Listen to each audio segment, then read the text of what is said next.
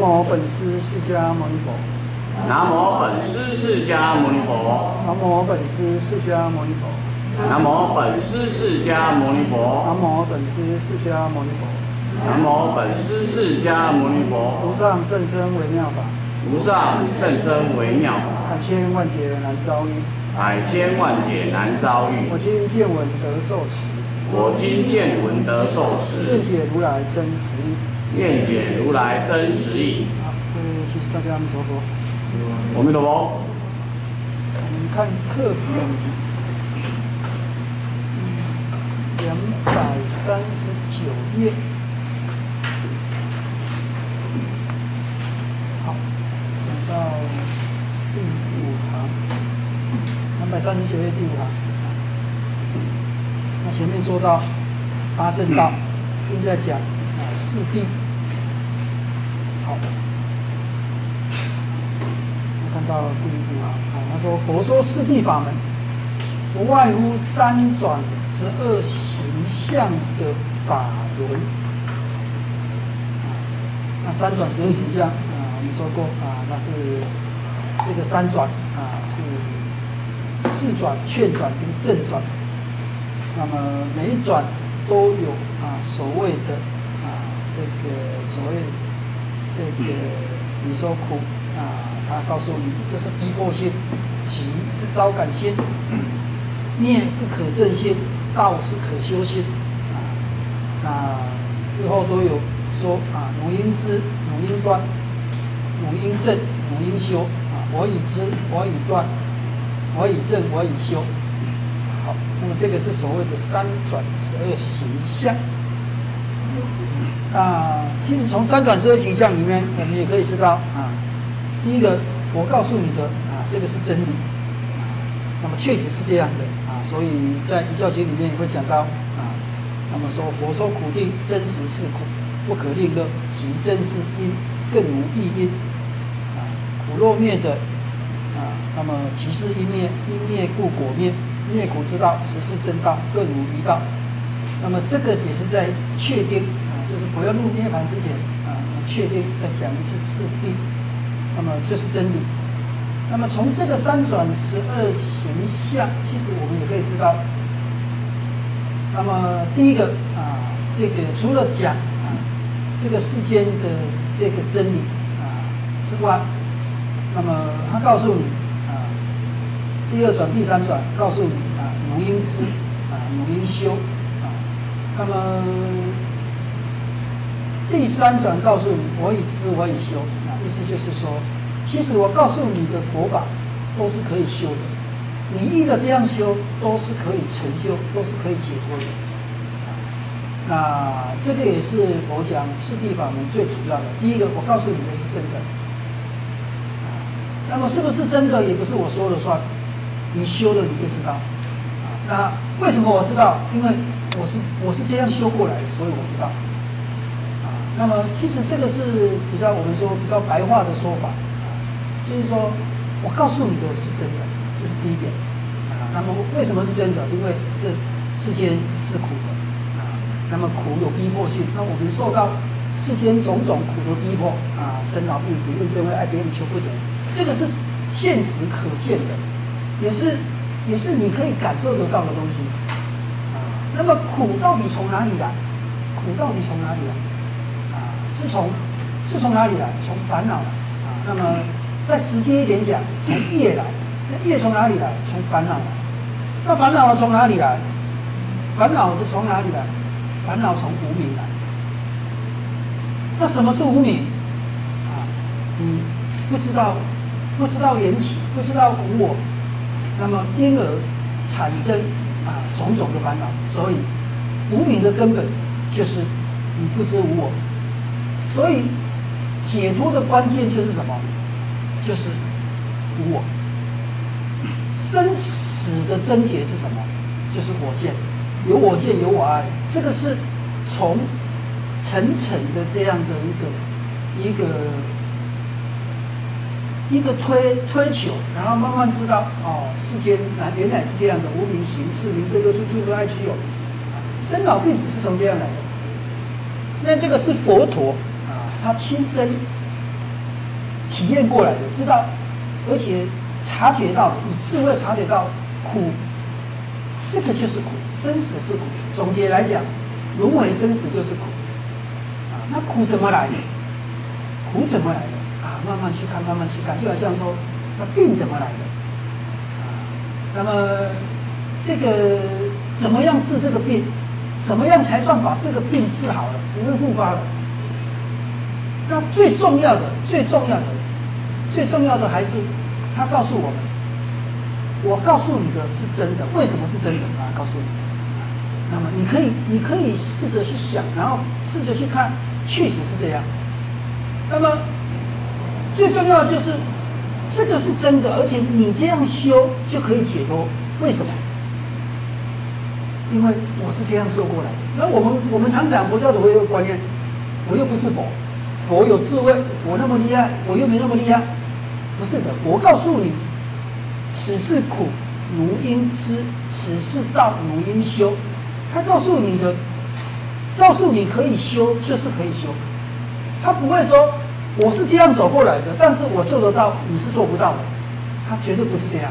但是我们现在看看待佛法，都是很多佛教徒都是这样哦，啊，这个佛做得到，但不代表我们做得到，啊，那即使祖师大德做得到，也不代我们代表我们做得到。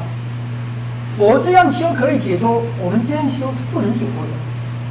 这样你就是没有真正的了解这个所谓的四谛，啊，三转啊，我们看起来就三转而已嘛，啊，就此。此这个，你说第第三转啊，我已知，我已断，我已证，我已修。那么我们会觉得那个是佛，我们不是佛。佛佛这样修可以解脱，我们这样修不能解脱。那么这个你就误会法的意思了。法基本上不管是谁，只要能够这样修，他就能够得到这样的果。他绝对不会说。这种，这种好像一般的药，也许在西方人吃了，啊，它可以发挥百分之百的功效。那么东方人吃了，体质不一样，只能只能发挥百分之七十，绝对不会这样。那么你只要是吸收了、理解了，那么在任何人身上、任何一个时间、空间底下，它都是一样的，因为法法性、法住、法见。不存在于时间、空间的种种差异，它这样就是这样啊。但是我们现在最大的问题在于，对对于这个法啊，对于这个法，比如说八正道啊，那么我们现在修八正道也不能得解脱，为什么？因为是末法啊，因为你必须在佛陀时代跟佛生在同一个时代，那个时候你修八正道可以解脱。你现在在末法了，啊，那么你你这个你这个没有佛的时代了，你修八正道也不能得解脱，啊，那你在娑婆世界修八正道不能得解脱，你必须要到极乐世界修八正道，你才可以得解脱。这个就是说，它有时间跟空间上的什么一个局限了，法没有这种局限。那么你说那个是两千五百年前佛陀说的，两千五百年后已经失效了，这个是佛法吗？当然不是，佛法没有，佛是佛法是若佛出世，若不出世，法性法住法见，这个我们要强调一下，因为我们现在大部分的观念受到末法思想的影响，那么都会觉得现在这个时代。一样的佛法，但不能够两千五百年前可以得解脱，现在不能得解脱。啊，最常见的说法就是正法、相法、末法。正法修八正道可以得解脱，依着佛法修可以得解脱；相法不能得解脱了，但是还可以得禅定。到了末法，连禅定都得不到了，只能修福报。并且是这样子，这个绝对是邪见，不是佛法。佛法是若佛出世，若不出世啊，这个很重要，因为我们大部分的人对自己没信心。那么对自己没信心，是因为我们生在末法时代，没有佛的时代。虽然有法没有佛，那么我们还是不能得解脱啊。那么你要知道，即使在佛陀的那个时代，依然很多人没有解脱，没有解脱，只是因为他不理解佛法而已。啊，并佛陀时代佛弟子也不是每个人得解脱的，佛灭后依然有很多人得解脱。佛陀时代的解脱者不一定都是见过佛的，没有哦。你不要以为在佛陀两千五百年前佛陀时代，那些阿罗汉都见过佛，也没有。有些是跟着富罗那出家，有些是跟着迦摄出家，有些是跟着舍利佛出家，有些是跟着舍利佛的弟子的弟子的弟子出家，他也不一定见过佛。啊，他他可能在很远的地方，他也不一定见过佛。啊，你说像那个佛陀的最后一个弟子，啊，佛陀的最后一个弟子是这个须跋陀罗，他也他修行那么久了，但是他他在居士那他也没见过佛，是佛要入涅槃去居士那他才见到的。啊，那像这样一辈子，虽然佛陀时代，佛陀时代很多人依然没有见过佛，即使在舍卫国，即使在舍卫国，佛陀在那边二十几年。还有三分之一的人不知道有佛，你看看，那其他地区的人就更多了。那么虽然是佛弟子，虽然证了阿罗汉，他也不一定见过佛。为什么？啊，因为他不是都跟佛出家的，早期的是跟佛出家，一千两百五十个都跟佛出家。但是这一千两百五十个弟子再分散出去，就会修弟子，又修弟子，他也不一定见过佛。但是他依着法修行，依然可以得解脱，依然是可以得解脱的。啊那么你见过佛还不一定可以得解脱，因为什么？因为见佛不见法，还是不能得解脱；你见法不见佛，还是可以得解脱。所以把你把它延到两千五百年后也是这样，把它把它提前到佛陀时代也还是这样啊。因为若佛出世，若不出世；若佛出世，若不出世，就是佛在佛不在不是重点啊。但是佛在有一个好处，就是因为没有佛，我们不知道真理是什么。你你你你的能力没有办法到那里，或是你没有去过那里，我们不知道。佛告诉我们了，哦，这是一条路，他走过来的这一条路可以到达。啊，那我们跟着他走这一条路，那么也一样跟他一样到达。其实是这样的啊，若佛出世，若不出世。法性、法住、法界，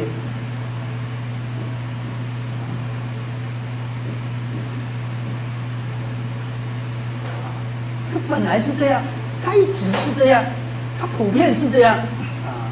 那么这个是重点在剑法啊，所以我常常觉得，特别是中国的佛教徒啊，中国的佛教徒都认为我们修学佛法解脱无望啊。那么，所以只要第一个不要堕三恶道就好了，第二个最好能够往生净土，那么其他你就不要想。那么南传跟藏传的，人家还高尚一点，南传呢是自求解脱的，那么藏传呢是要提升成果的，只有我们只只求往生净土就好。那么这个其实是有一点点啊，有一点点老实讲啊，不太有志气的。当然往生净土是很好的哦。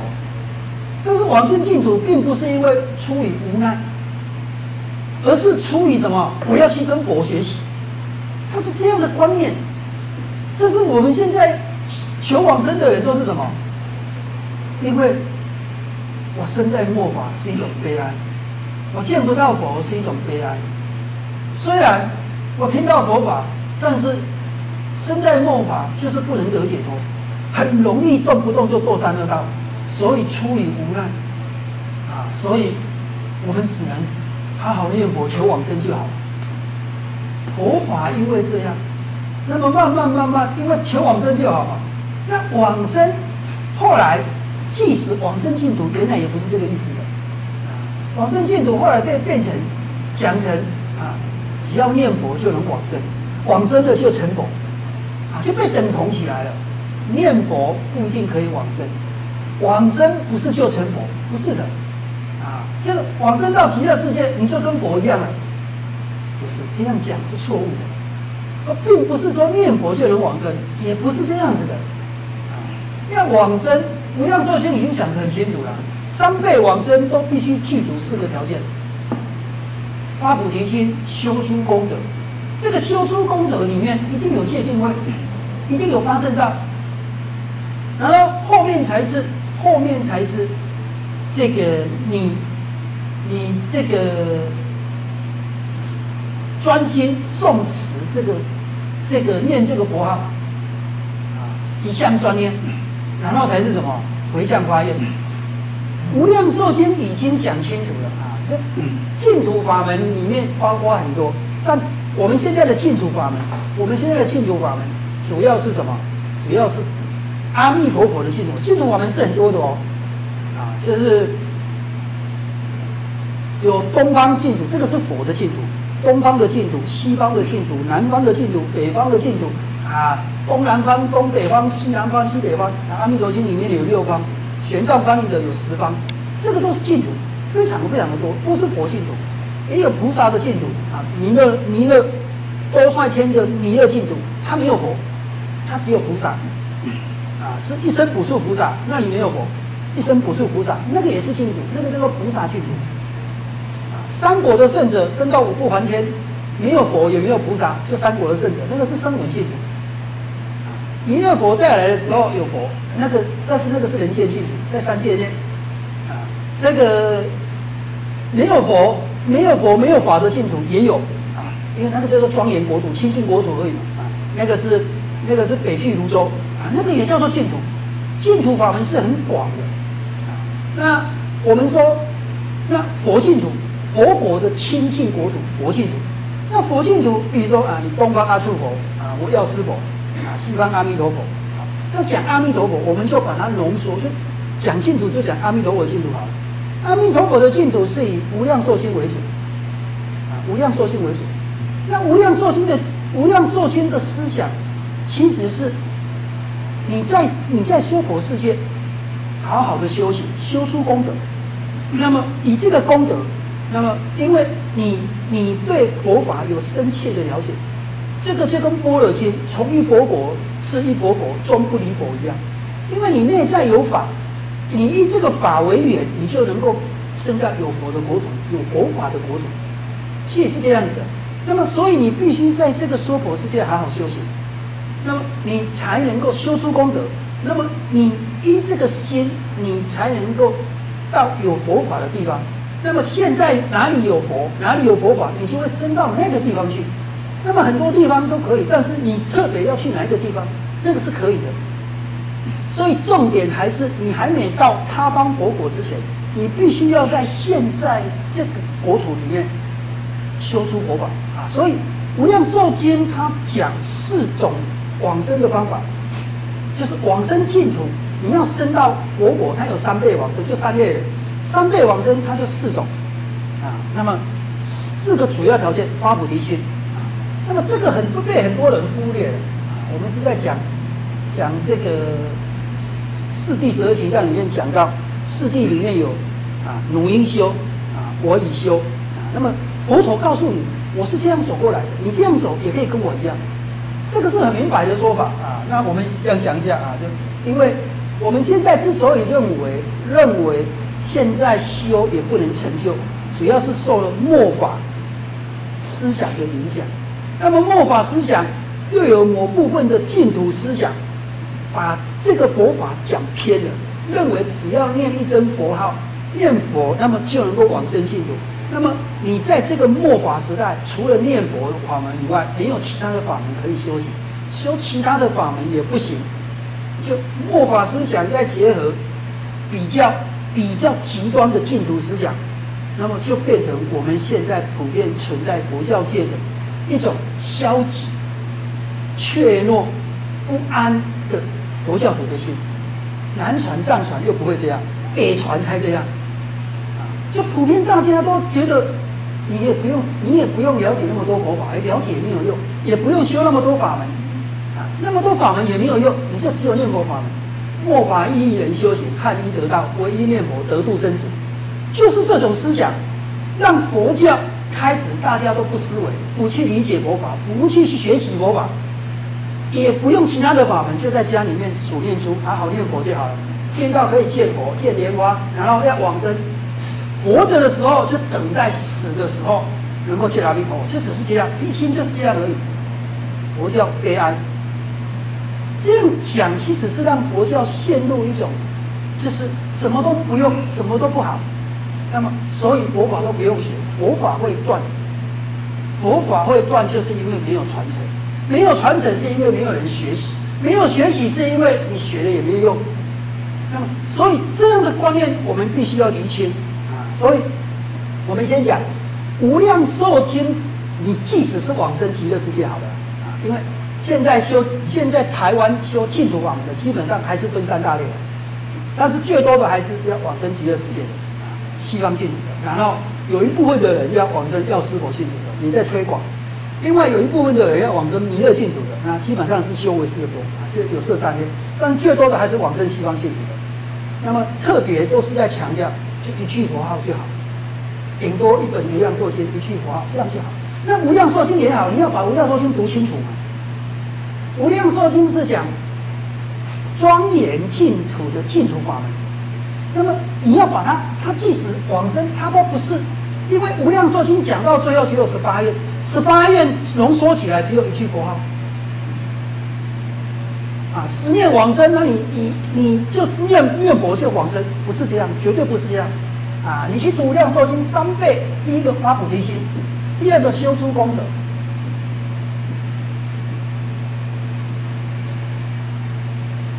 第三个一向专念，第四个回向发愿。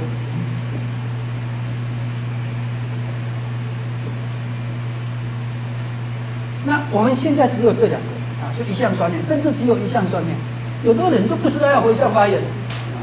那么基本上现在净土法门只持下这两个啊，就一项专念跟回向发言啊，啊就就要往生了，不能这样不能往生啊，他一定要什么发菩提心。他大圣不共净土啊，你没有发菩提心，那你知道怎么发菩提心？你知道你就是怕你就是怕堕落，怕堕落没关系。那么你。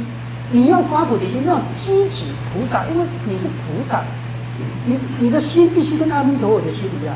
阿弥陀佛，阿弥陀佛，法藏比丘，世智大王我给他看了两百一十一佛国土，他并没有说哦那个佛土好很好，告诉我怎么往生到那个佛土，他没有这么讲。他讲什么？他说，他跟世智大王我讲，这些诸佛国土那么殊胜，请告诉我怎么修，才可以得到这么殊胜。他是这么讲的，他并不是说哦，那个国土那么殊胜，请告诉我，我要怎么修才能去到那个国土？没有，没有。如果是这样，就不会；如果是这样，不会有极乐世界，因为极乐世界并不是阿弥陀佛去到他方国土，而是他想要学习诸佛，那么学尽诸佛，那么成佛的时候有这样的国土，是这样子的。那么这种观念并不是，并不是说哦，我我念佛而往生，往生，往生，往生这个净土就好，不是。所以因为这样，因为这样，他告诉你，啊，这个其实就是要修八正道。他告诉你，你在娑婆世界，他告诉你极乐世界多殊胜，多殊胜，多好多好，劝你要往生。但是最后他跟你讲什么？你在娑婆世界修行一天一夜。胜过在极乐世界修行一百年。他为什么这么讲？那那么好，那早点去。你现在就不要管他去了就好。不是，他告诉你，那里虽然好，可是那里好的，那里好是必须你这里好，你才能够去到那里延续那样的好。你这里没有因，那里哪里会有果？佛法一定是讲因果的嘛。啊，所以你你说啊，那天上很好，那天上那么好。那么我想要升到天，告诉我怎么去？你必须这里修布施持戒，你才能够升到那边天上去。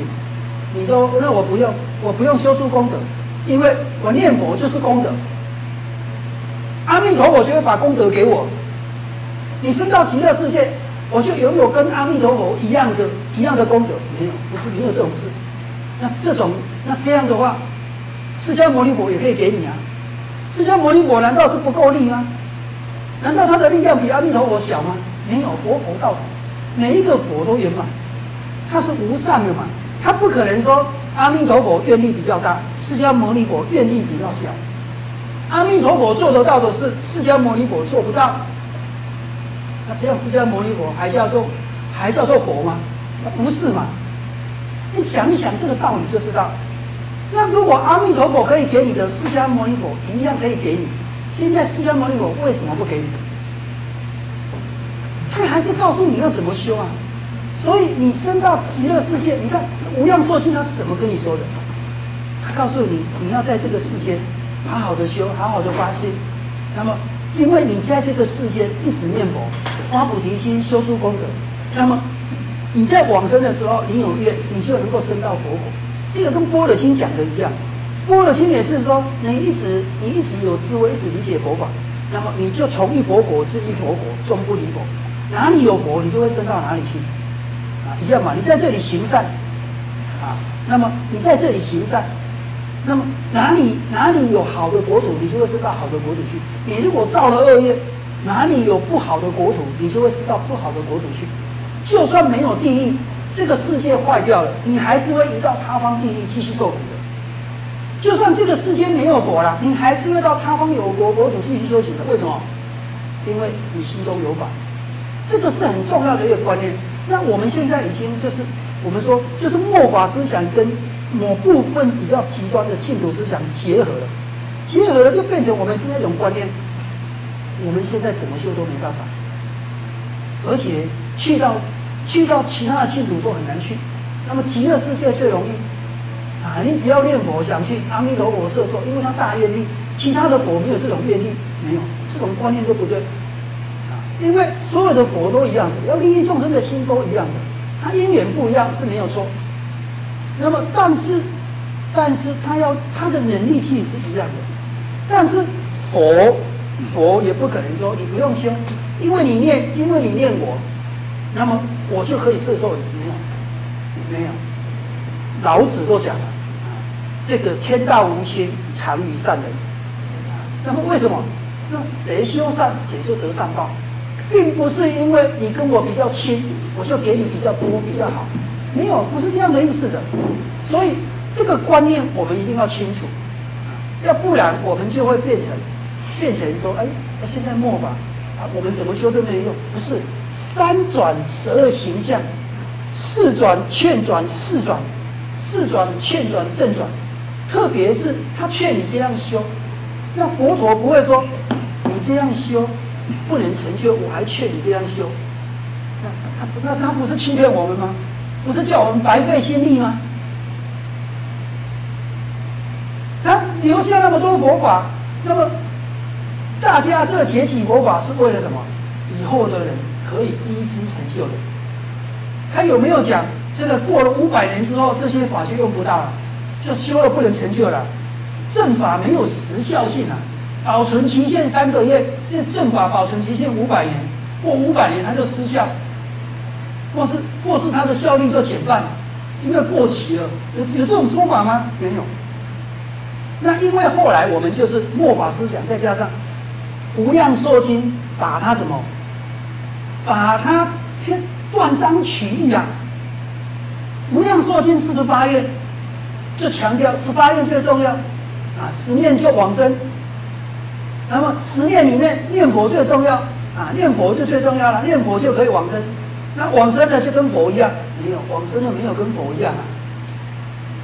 啊，他凡圣同居土，你去了，你去了，你去了不是跟佛一样啊，你是跟在娑婆世界一样要这样修啊。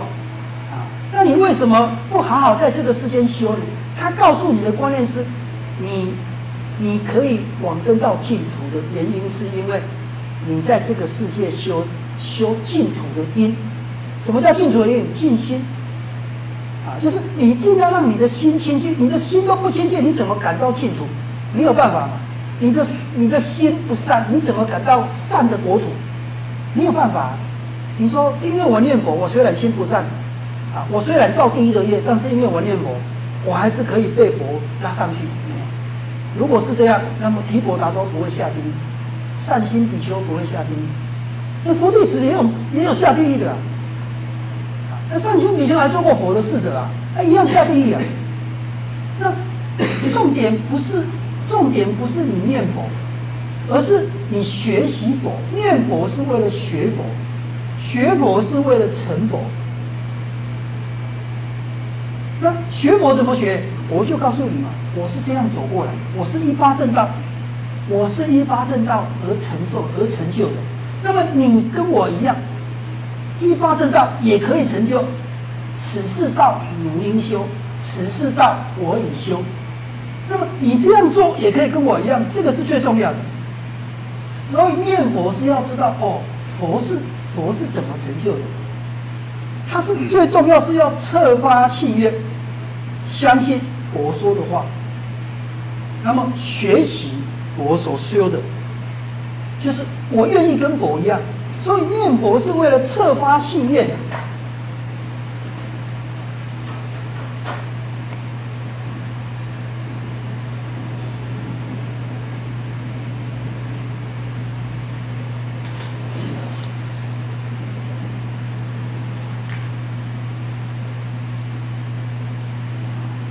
才会告诉你：此事苦，汝应知；此事苦，我已知。那么，此事苦逼迫性，他你要相信佛，信佛之后，就是他基本上就是信佛，信佛所说，那么行佛所行啊，学佛所学佛。学佛就是要行佛所行，那么愿什么？愿与佛同，愿意跟佛一样，就好像法藏比丘，法藏比丘这些佛成就这么殊胜，告诉我我要怎么修？那用医愿起修啊！法藏比丘第一个发了四十八大愿。发了四十八大愿，一愿起修，那么愿意跟佛一样，那这些佛都是怎么成就的？告诉我，我也要这样的成就，所以我也要跟佛修一样的啊，一愿起修，这个是《无量寿经》里面一个很重要的道理。《无量寿经》是西方净土最主要的一部经，它最重要道理在这里。可是我们现在没有，我们现在。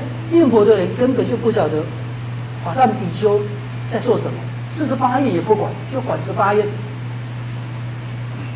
若有众生欲生我国，啊，具足十念，若不生者不取正觉，啊，就管这个。他说，所以具足十念就生了，没有四十八愿是整体的，它不是只有这一愿而已。你单单一十八愿，你是不能往生的。为什么？因为他告诉你三倍往生啊，即使是下辈往生。都要这样的条件啊！啊，你单单一项专念具足十念，那你就往生了没有？就不合乎无量寿经的思想。而且他告诉你，你去到极乐世界修一百年，都不如在娑婆世界修一天啊！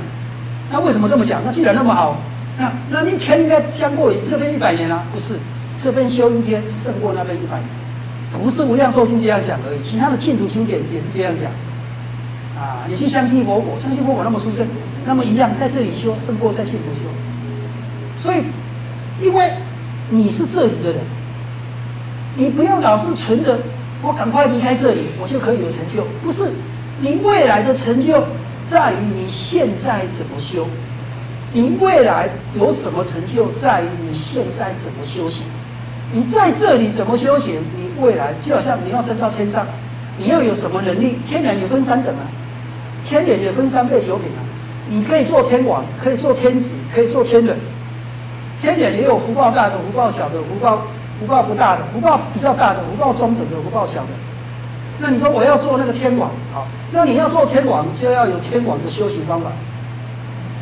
你的布施就要比别人多，你的心量就要比别人大，那么你才能够做天王啊。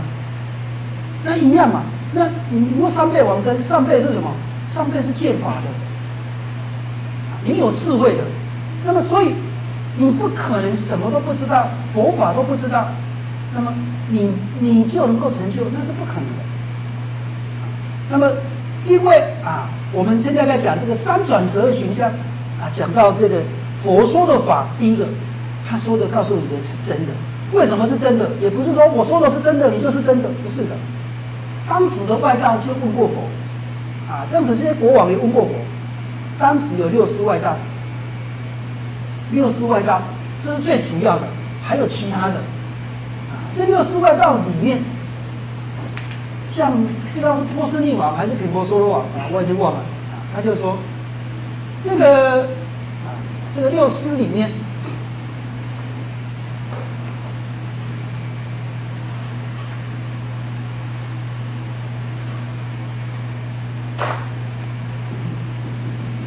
六师都是当时的宗教领袖，啊，那么每一个人都有一套理论，而且都说是除了除了阿姨多算是唯物论，他死了没有？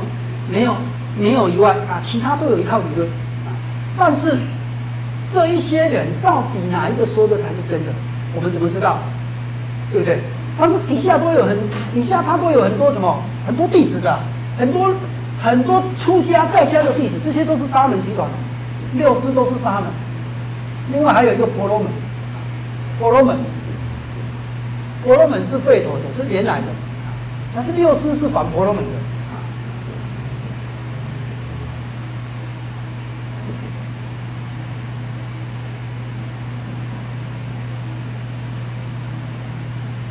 它有很多种，就是它的翻译很多种啊，啊，那我们就举其中一种而已。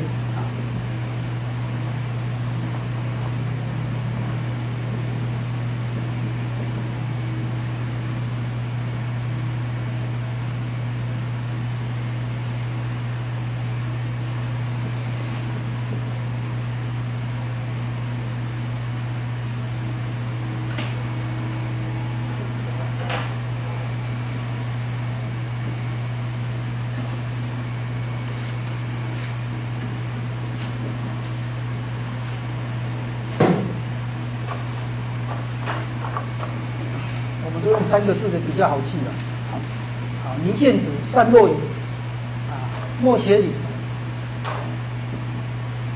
那么他们都是各有一套思想的，每个讲的都好像有道理，每个讲的都好像有道理。可是，一般的人没有研究那么多，怎么知道谁讲的是真的？怎么知道谁讲的是对的？怎么知道？就好像现在有各个宗教，啊，南传、北传、藏传、佛教，佛教里面北传又有很多宗派。像那个时代，《华严经》说《华严经》是最高的，啊，海天台天天台宗啊说《华严经》是最高的，啊，这个密宗说《大日经》是最高的，啊，禅宗说《金刚经》还是说这个《人觉经》是最高的，那我们怎么知道哪一个最高？说哪一个宗派是真正究竟？啊，那这个又不讲，那其他的宗教，南传、北传、藏传也不讲，讲佛教、回教、基督教、天主教，哪一个才是真神？哪一个哪一种说法才是真理？其他的人哪里会知道那么多？那当时也是这样。那六师外道跟婆罗门，那哪一个说的是真的？我怎么会知道？那佛陀讲，我也不是我说了就算，不是啊。我告诉你，你这样修，他不是告诉你，你相信我就好。啊，这这个以前我们去那个小时候啊，那个教堂里面，那个那个外面。啊，外面那个教堂外面，我就是真理、道路、生命。我就是真理，我所讲的就是真理。吠陀天启也是这样啊，啊，我就是真理，所以我讲什么，我就是我就是代表真理。佛陀不是这样，佛陀不是说我就是真理，不是我讲的是真理。为什么是？告诉我。那你第一个你要去思维，你也不要说，你也不要说，因为是我讲的。你反正你不懂，你相信就对了。他不是这么讲，他告诉你，我告诉你的是真理。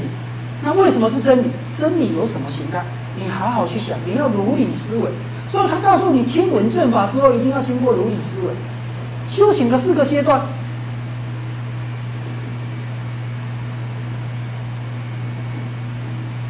亲近善事。那我们讲这个善事是，比如说是佛好了，那。这六师外道，他都是善知识啊。当时，当时品婆娑罗王，上品博说王一问啊，那我怎么知道？因为这个六师里面再加下放佛教是七七个沙门集团，啊，七个沙门集团再加上佛教，当时的啊，这个如果我们讲悉达多啊，就是佛教，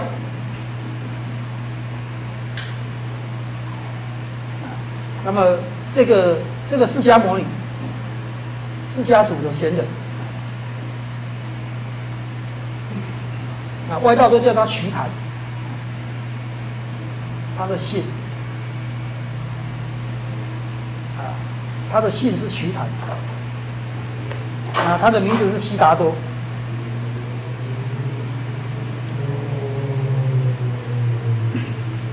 那我们没有叫他的名字，也没叫他的姓。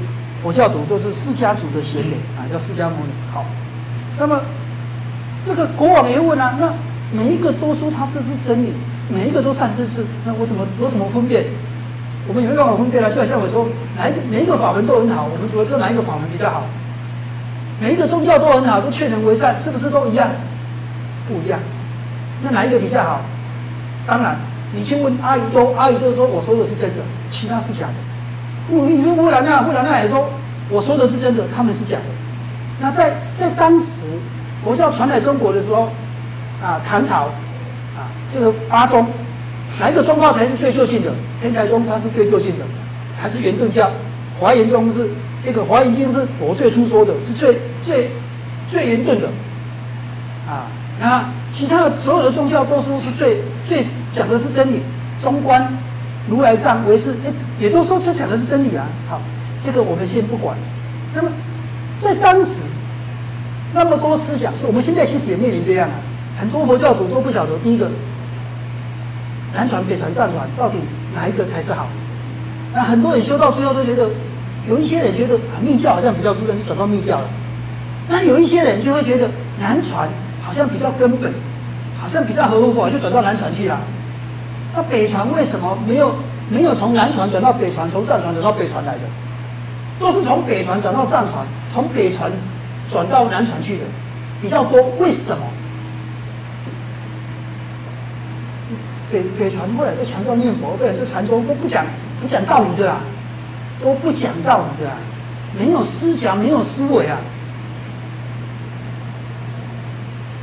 密教虽然讲持咒、讲灵感，但是他们还重教义啊，辩经啊，那么重这个重这个，他们也不是，以很多部分他还讲讲道理、讲显教的。你像达赖喇嘛、大宝宝王，他们也不是只是说哦，那个密教多数的，他也讲道理的，也要如理思维的。就是后来我们很多东西就念佛啊，就参话头都不如理思维了，这一部分让佛教衰败了。所以很多北传的佛教徒没有根啊，他又不想像一般人只是诵经、拜忏，可是他又他又找不到方法，不知道怎么做，他又不会，他又觉得只是念佛往生好像他又不合乎他。那么这一些就是因为都来自于什么？你没有清楚佛陀的教法。我们说，你说那那那那这六师，这品婆娑罗王去问，那我怎么知道哪一个比较强？我怎么说哪一个是真的？每一个人都是真的啊！你去问这个，问这个，问这个，问这个，这都马说他是真的。那我现在来问释迦牟尼，我释迦牟尼说我强的才是真理。好，那一样啊，一样的问题啊。那我现在问你，那我怎么知道你讲的是真的？那我去跟他讲，他也跟你讲，你讲的是假的啊。好，那现在怎么办？他说我跟你讲是真的，他并不是说你相信我就好，不是的，你要你要怎么样？所以他有四欲流之，他告诉你，他重点在怎么样？你你你来找他，找他，找他，找他，找他，找他，找他，看起来都一样，讲的都是最殊胜的，不是？佛陀讲这个只是第一步而已，重点不在这些人身上，重点是在他所说的。那么他所说的也很重要，没有错。但每一个人都说他说的是真理，还要怎么样？你还要经过如理思，你不是相信就好。那么如理思维，如理思维还不能得成就，那还要怎么样？还要你实际去修，你要实际去修正的，啊，那么亲近善事，听闻正法，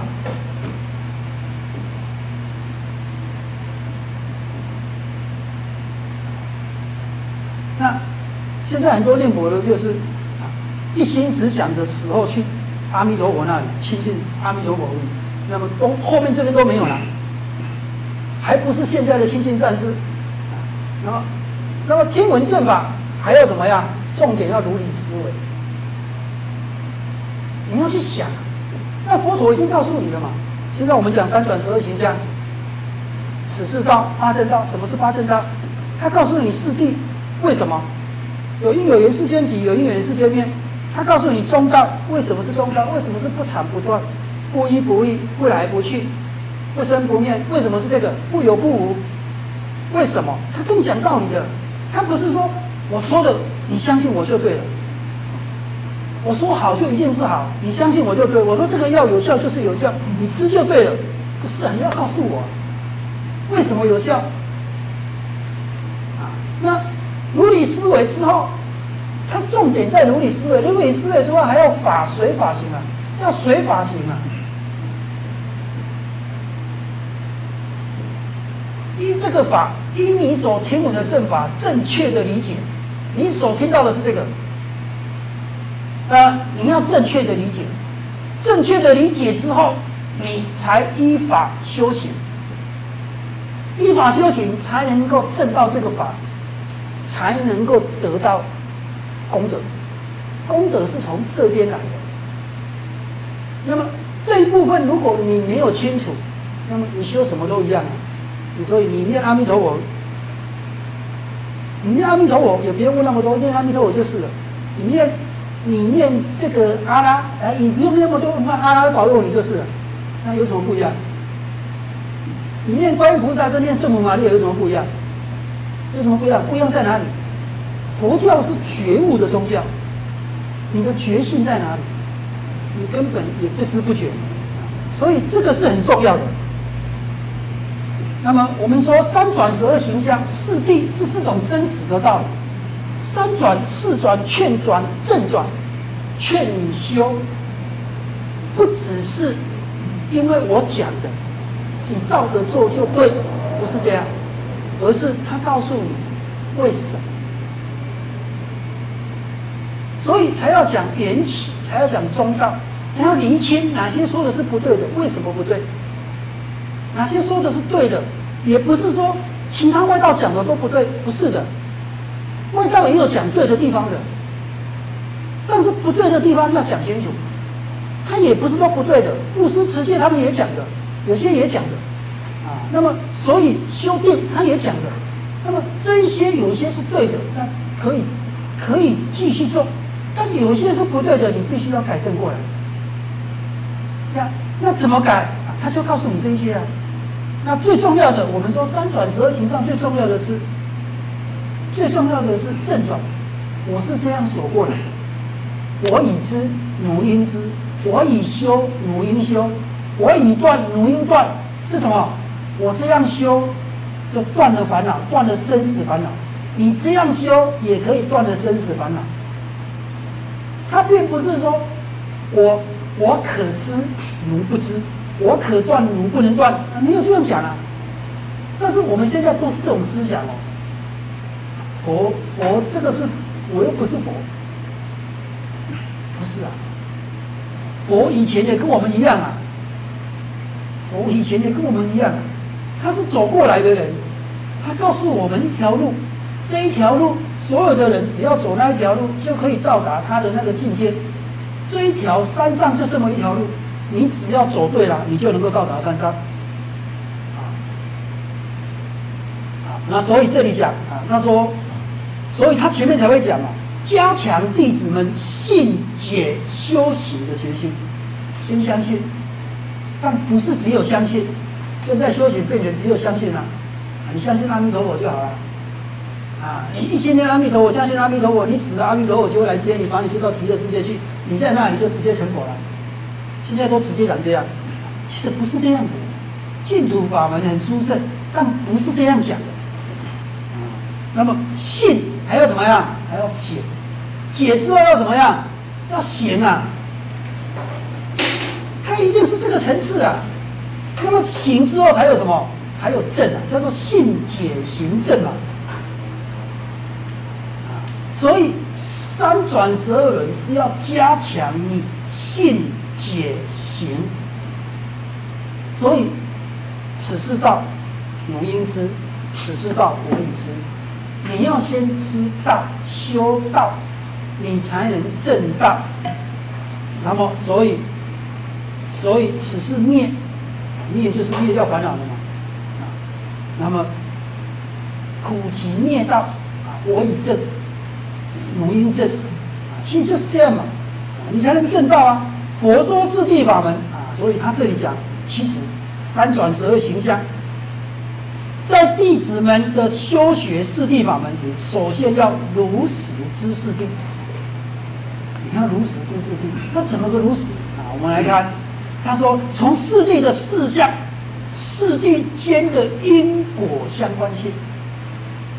如实就是什么？如其事实，那它是这样的存在，你要看到它的真相。不是看到它的假象，不是看到它的表象，所以那什么叫如此？好，他说四谛的四相，四谛间的因果相关性，什么是苦？什么是集？什么是灭？什么是道？苦跟集有什么关系？灭跟道有什么关系？苦集跟灭道是什么一种关系？因为我们的问题就在于两个问题而已吗？我们为什么要来学佛？我们为什么要信仰宗教？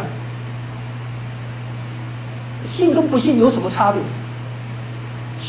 那么信佛跟不信佛，我信基督教跟信佛教又有什么差别？这个你要弄清楚啊。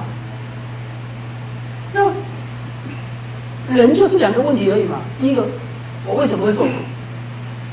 我为什么会受苦？如果你都没有苦，你是不会来学佛的。你现在没有苦，未来也没有苦，过去也没有苦。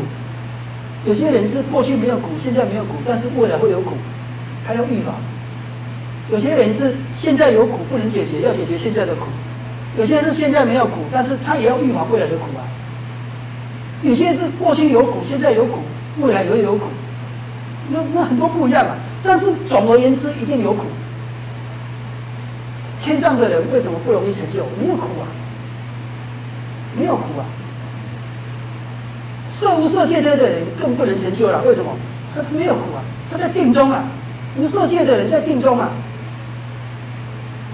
他根本就没有感受到苦，所以要等他从定退下来了，从色无色界天掉下来了，他才会感受到开始感受到苦。他甚至觉得没有生死啊，所以他不会修啊。那我们之所以要修行，是因为。是因为我们有苦，所以四圣地第一个就是苦圣地啊。那什么叫苦？那这是一个，所以我们的问题其实就是两个问题而已啊。第一个，为什么我们会受苦？我们要探讨这个问题。有苦是事实啊，那只是过去、现在、未来的苦而已，已经存在或未来会存在。那第二个问题就是，那怎么样才可以不受苦？就近不受苦，那就是两个问题而已啊。我们问题就是两个而已啊。你要来学佛，不也是要解决这个问题而已？是不是？那么苦有哪几种形态？那什么叫做苦？那这个就是你对什么是苦？那苦从哪里来？所以佛法都是讲因果。今天后面会讲到法住智，法住智就是你要明白因果。这个就是《无量寿经》里面讲的深信因果。深信因果，就是要了解因果的道理。因跟果有什么关系？为什么什么样的因可以达到什么样的果？什么样的果是从什么样的因来？这个你必须要知道。那我们也是要探讨这个道理啊。比如说苦，苦是一种果啊，苦是一种感受，一种苦果，一种果报，已经存在的事实叫做果，已经存在的事实叫做果。比如说我们现在是人。它也是果报啊，果报生啊。我们是人，它是一种果。你是男的，是女的，是台湾的，长得高，长得矮，生在有钱人的家，生在穷人家。那这是一种果啊，病也是一种果。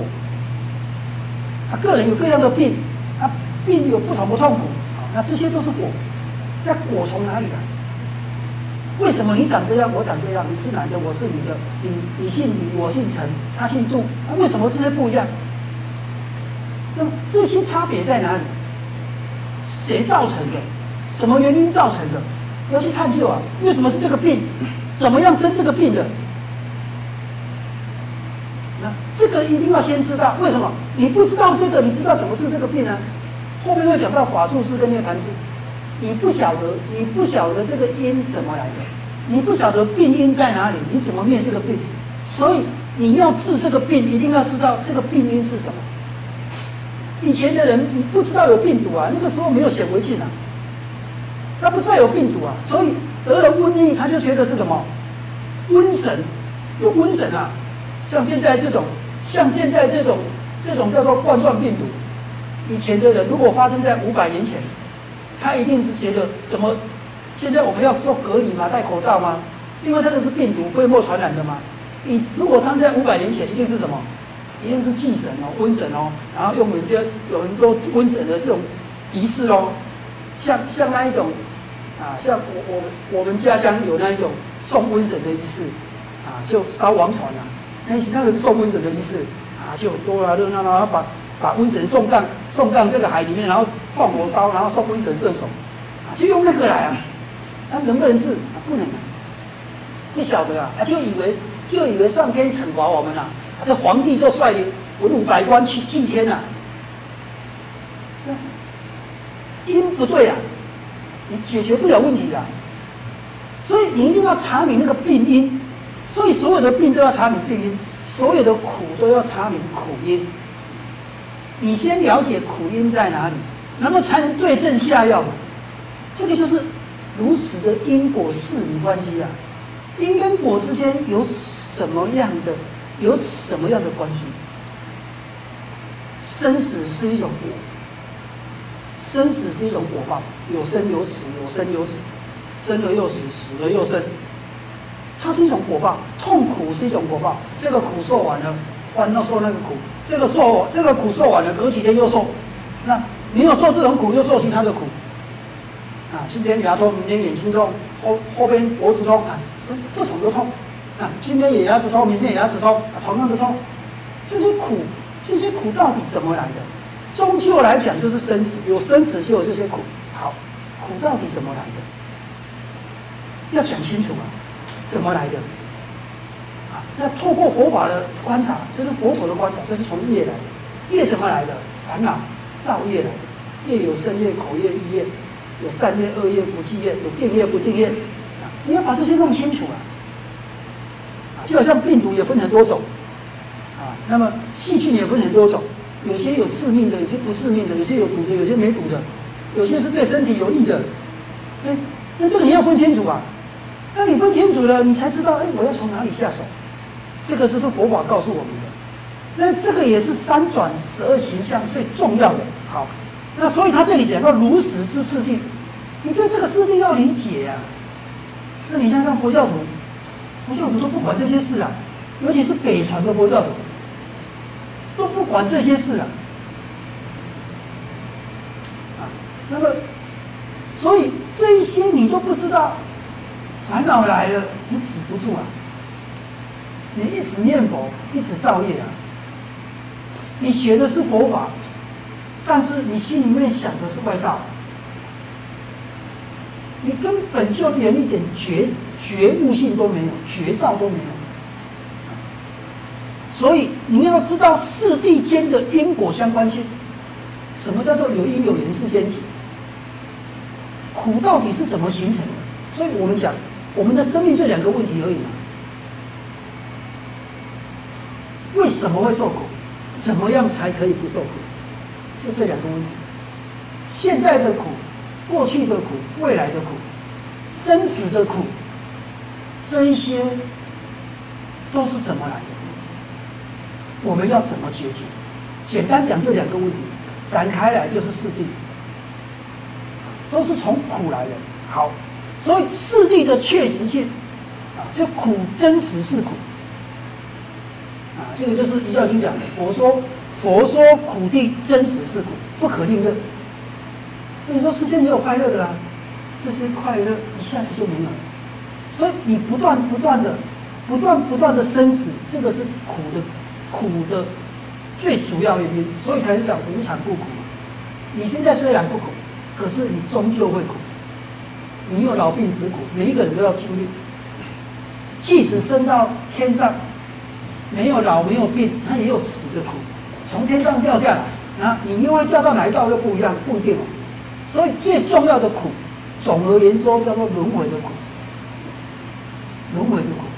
那其实像净土法门，愿离娑婆，心求极乐，其实他讲的也是什么？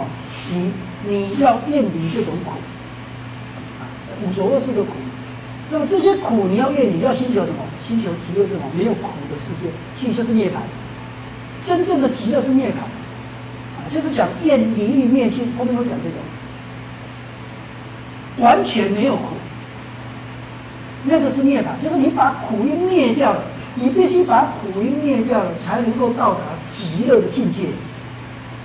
其实是这样子。时间到了，我们先休息十分钟。